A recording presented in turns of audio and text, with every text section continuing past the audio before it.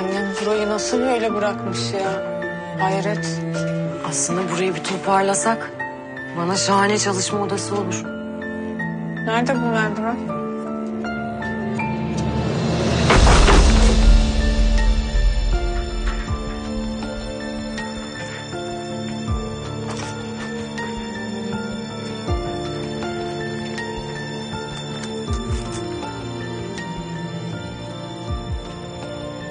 Biliyorum yaptığım doğru değil.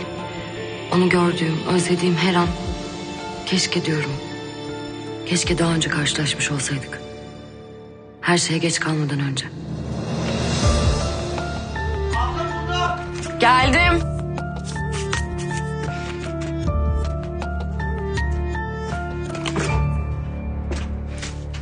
Dur.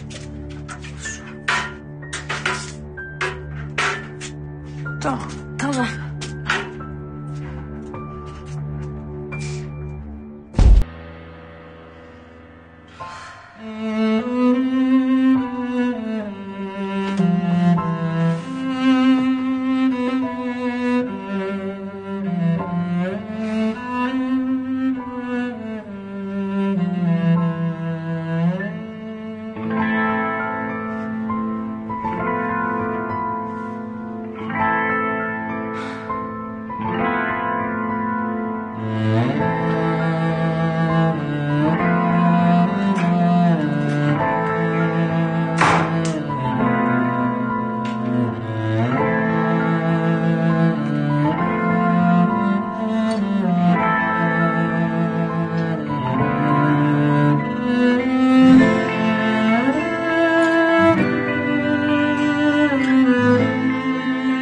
Nasıl bir deftere sığınacak kadar yalnız kaldım?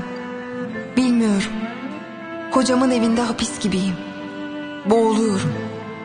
Kocamın evi. Tanıştığımızda kocam... Nasıl anlatsam...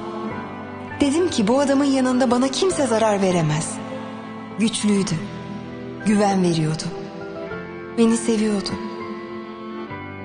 Sonra oğlum doğdu. Tamam diyordum. Artık hayatımda hiçbir eksik yok. Kocamın bitmek bilmeyen iş seyahatleri. O evde şeyinin baskısı. Şey. Piri masalında saray sandığım evin baş gardiyanı. Biz hiçbir zaman bir aile olmadık.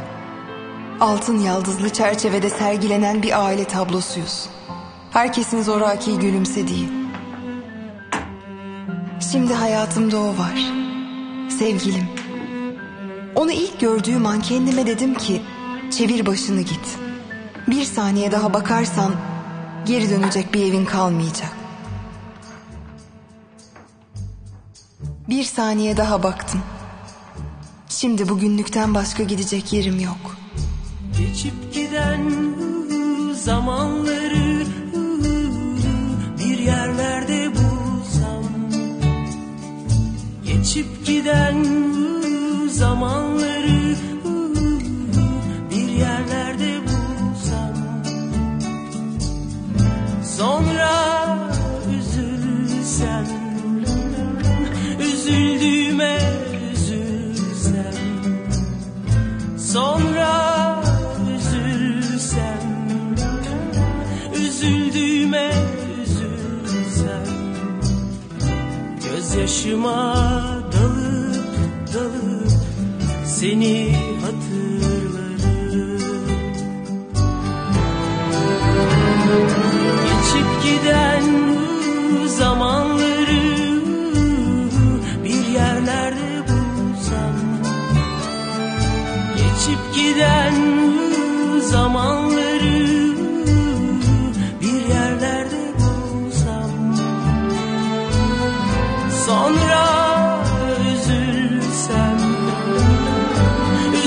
Üzüldüğüme üzülsem.